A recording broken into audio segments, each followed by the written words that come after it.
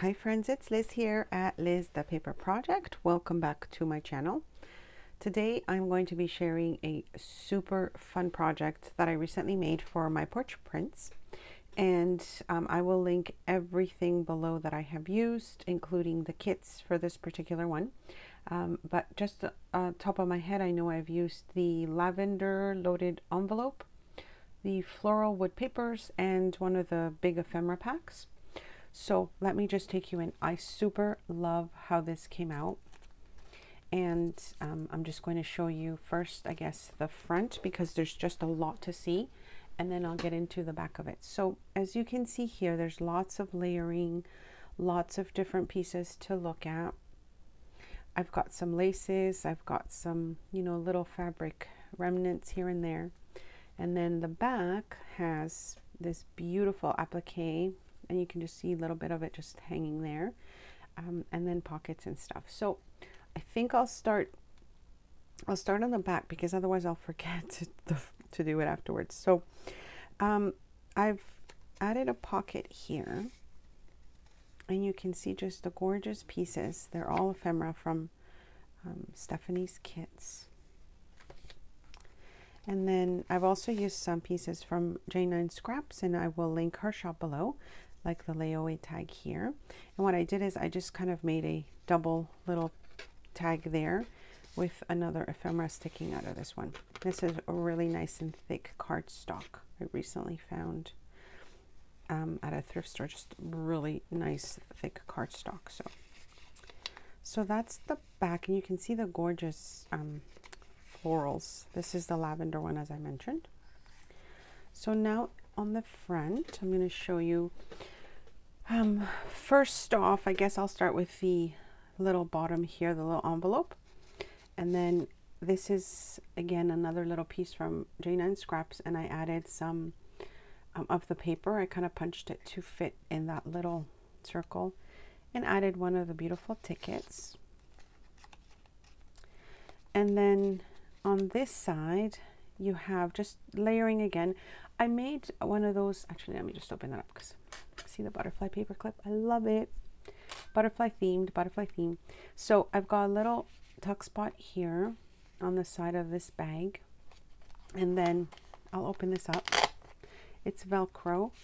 And then you've got a Tim Holtz beautiful tag that I made. Again, you can see the beautiful paper that I used.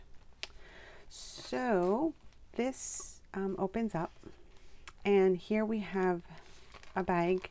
Again, this is from J9 Scraps. And I just did a little bit of layering, collaging.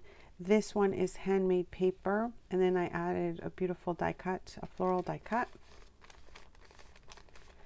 And this is also from J9 Scraps. I just thought it was, you know, kind of like a perfect ephemera holder that could sit on your desk. That's kind of my thought of it. So this is the lace here that's holding the bag and I added that as well to kind of help it from pop, you know popping out.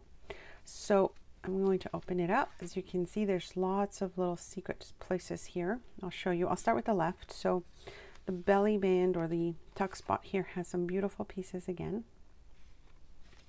And because I used envelopes to make this I made sure to keep them open because I wanted to use them. And see how I've kind of blended it nicely in there so you can't really see it but there's a pocket there.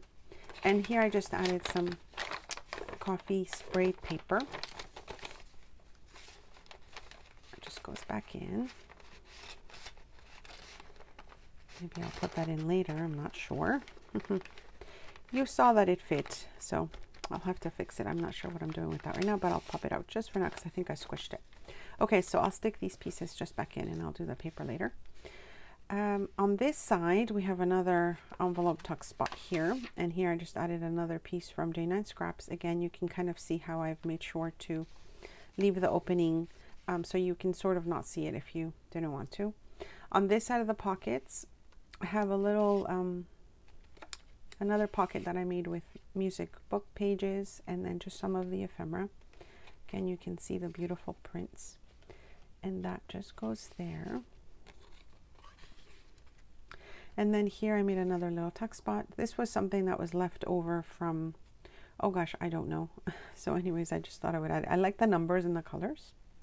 So on this, oh, before I forget, giant pocket at the top as well because it's the full envelope that goes all the way in. So you can see that. That would be a nice pocket there.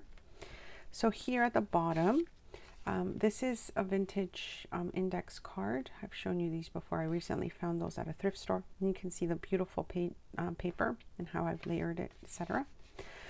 I love how this one came out, you guys. So I made this with the sewing, um, you know, that paper. I forgot now what it's called, but it's that paper that comes with your patterns, sewing paper, pat sewing pattern paper. Um, I added it with washi tape and then I added the die cuts. Aren't they cute? You can take them out and use them somewhere else. And that was my whole idea behind this.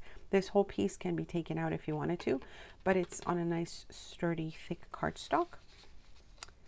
And then the top here just has some two more elements, which is this really nice, um, kind of looks like a postage, uh, sorry, a postcard. And this is again from the kit.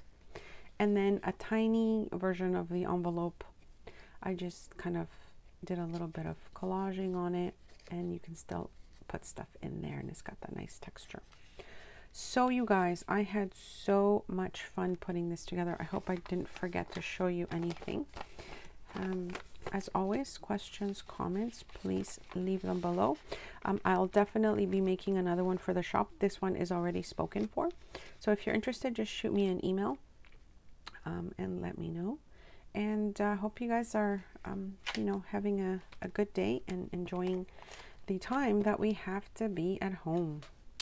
Okay, guys, thanks so much for stopping by.